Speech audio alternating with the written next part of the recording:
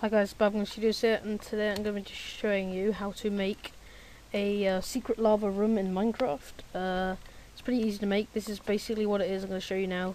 It, it, looks like lava. You think, oh, if I go in, I'm going to die. But uh, if you jump in this one, you actually fall through and you don't die. It's a secret room, as you can see. You can uh, hide your cake so no one can steal it. You can eat it, and all that good stuff. So uh, basically, I'm going to show you how to make this today.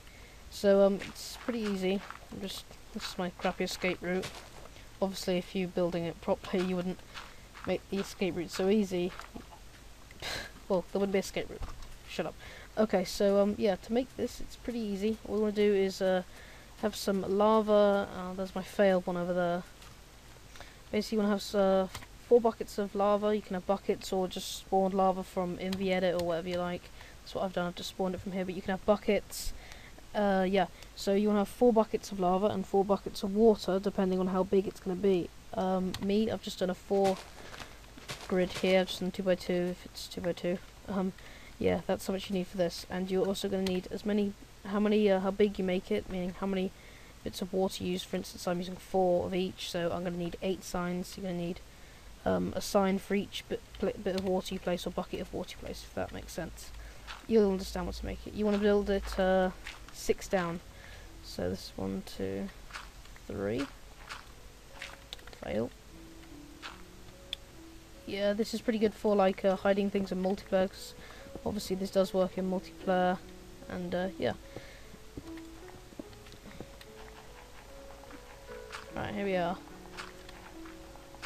As I said, you can build this as big as you like, but I'm just uh, building it 4x4, 2x2, sorry, whatever. So uh, now you want to get these signs. Just get four out. And uh, right there, one below the uh, top, you want to put a sign down. You don't have to write anything on, you can write on if you want, but really doesn't make a difference. There you go, now once you've got those placed, you want to get the next four out. Uh, just place them down here and uh, you want to place them a block, two blocks below it, just here. Just put them there. There we go. Okay, now you want to, well, what, you want to do now is you want to get your water buckets or source. You just want to place them on here. You make sure you place them on each corner.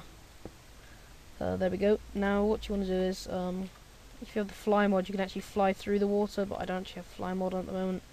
So I'm going to just uh, dig through the ground to get back up. Obviously, if you're building it properly, like I said, you can just, um, you won't have to do this. Just uh, put two down there and dig up. Now you want to get your lava out, and uh, you want to go ahead and this at the top. You can see we've got the water there. It's not falling through because the signs are there. You want to get the lava, place it in each of the corners, like I'm doing now, and uh, there you are. It's now still. You can um, go and throw things in there. If you throw items in, obviously they will still um, break like they do, but if you jump in, you will not die. So uh, thanks everyone else for what. Thank you very much everyone for watching. Uh, if this helped you, or if you liked it, please uh, give the video a thumbs up because uh, I love it when you do. And uh, yeah, thanks everybody for watching. Bye.